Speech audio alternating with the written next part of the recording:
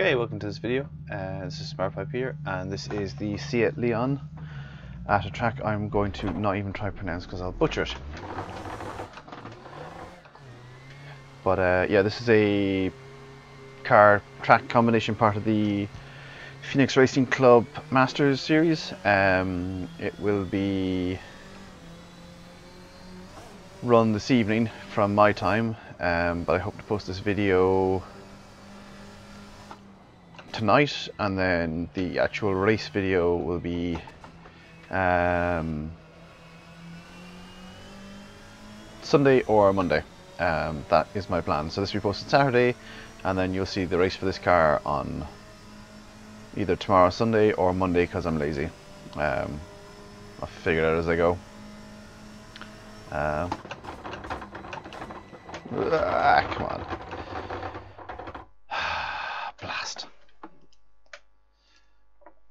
um, uh, no, keep going. We keep going. Anyway, this video is um, for. Oh gosh, that was a jump. Um, talk about the F3 series in a nutshell. Um, basically, a mid-season review. I'll overlay some footage of from the F3 series um, in due course when I'm talking about the relevant things. Um, but at the moment, you can probably see a distinct increase in quality from my regular videos. That's because in the last couple of days, I've installed a NVIDIA 1050 overclocked card. Um, and there's very specific reasons for that choice of card, but we'll get to that.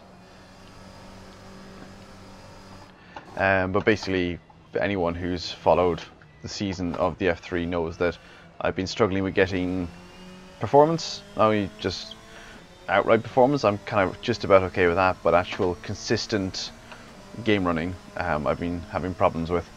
So this um, Alex Nessie had offered a cheap enough solution. Oh, locking the brakes. Ah, no, no, no, no, no, no, no. Uh, we need to adjust a bit of brake bias.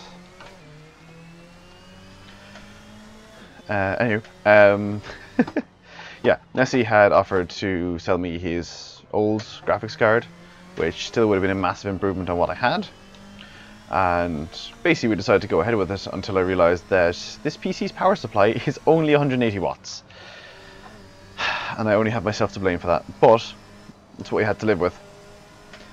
So looking around and getting a bit of advice from a couple of friends of mine who are much more into the actual components of computers than I am, um, I was recommended to look at the 1000 series for Nvidia because those cards are stonkingly efficient.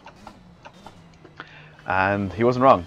This 1050 card, which is a near 400% increase in the power that I had, and will do about the same performance as 770 GX, GTX, um, uses 30 watts. Just 30 watts. So my processor, I think, is a maximum rating of 95 watts and that with 30 that gives me just enough leeway. And to be fair probably didn't use a, doesn't use a lot more if any more than the old card that I had in here that was crap. So all's good. I can now whack the settings up. I can now play it in 1080 which is the resolution of the monitor I'm using. So that looks a lot nicer from my point of view. And uploading in 1080 probably looks nicer on your side too. So that's good. That is good. Um, I'll actually just do some before, after, before, after. Yeah, you kind of get the idea of how much of a quality jump that is. Um, things have been anti-aliased, there's filtering going on. There's a lot more trackside stuff, although on this track you probably don't notice it so much because it's a modded track. Which is partly where my troubles came in because modded tracks don't have the levels of detail quite so well dialed in as the stock tracks. But yeah, you get the gist. A lot more quality. Um, so that's that. It should allow me to not be Kunos, as it's become to be known. Uh, where basically the game lets me down for various reasons. Uh, Austria being probably the worst one because we took out our teammate Nihon in the F3 series. So, yeah, it's not good. It's not good. But then again, like the season opener Spa, busy gridding, and the game just goes, nope, see ya. That was annoying. And then we had one other incident. What was? Oh yeah, the game rubber banding. That's more my connection, I believe. But I guess the poor frame rate mightn't have helped. so yeah, it, this is this is good news for all around gaming, I think, and not just me, but everyone I race with. And also, now that I have frames, okay, I'm not demonstrating it well now, but um, definitely feel I can hit my marks much closer now that I can see them over 60 times a second as opposed to 20. it's, it seems to be a lot easier to hit the marks. Um, actually, what?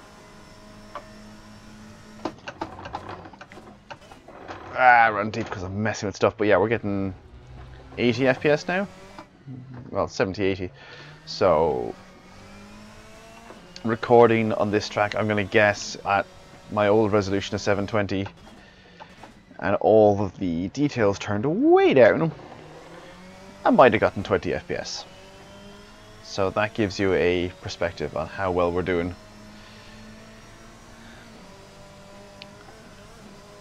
anyway, that's the bad things finished. Uh, good sides from the F3 series. Um, primarily being that we actually did have some good racing. Um,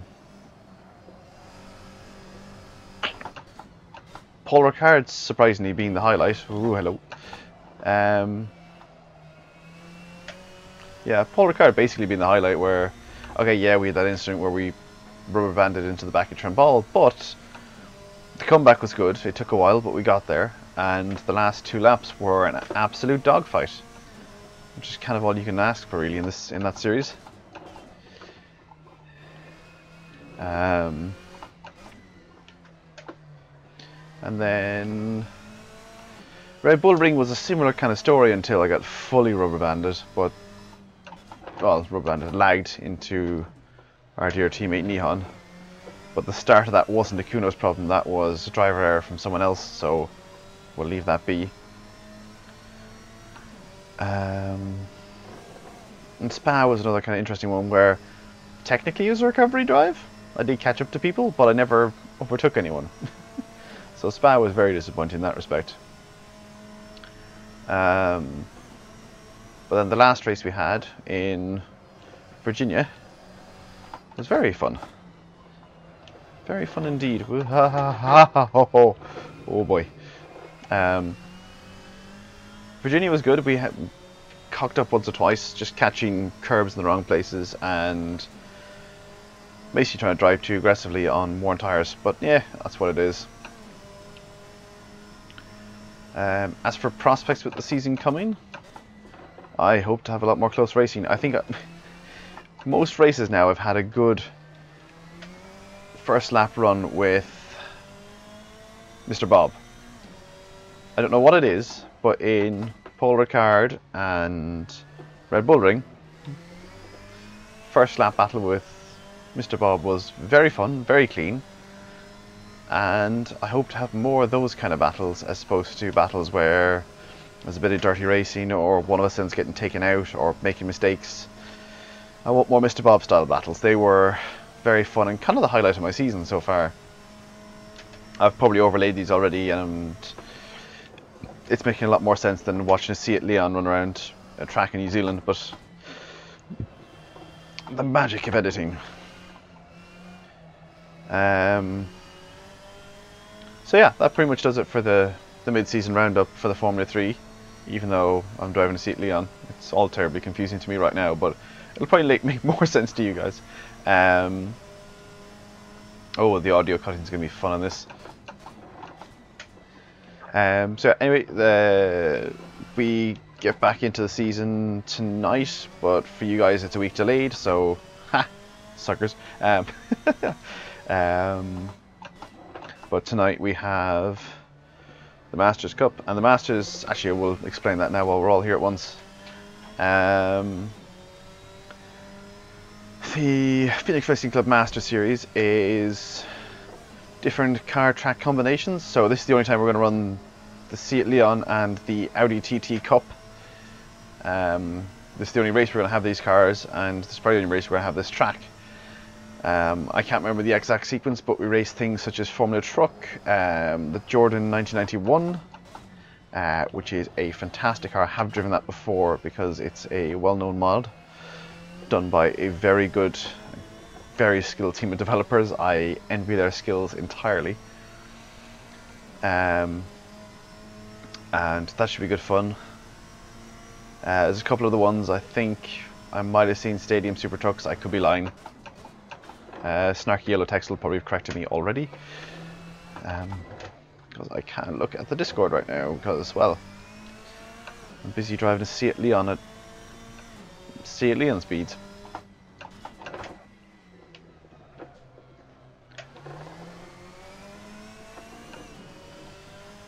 Cannot get that turned down. Anyway, uh, so that's what the Master Series is. It's about five or six weeks, I think, where we just run interesting car companies. Oh, Group C as well. That's going to be a hell of a fun. um, but yeah, yeah, should be good fun.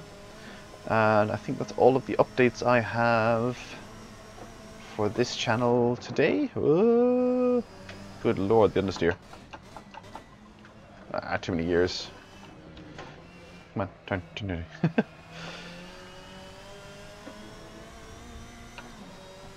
Anyway, that's all the story I have. Uh, we'll catch you tomorrow for the race in this car. Um, the this car and the Audi TT are running in a single class, so it should be interesting. The Audi rear-wheel drive. As you can tell by the appalling driving, this car is front-wheel drive. Uh, I think I'm going to drive the Leon. I'm not entirely sold on it yet, but it seems to me a little bit more fun. The Audi likes to snap a little bit, but anyway. That's neither here nor there.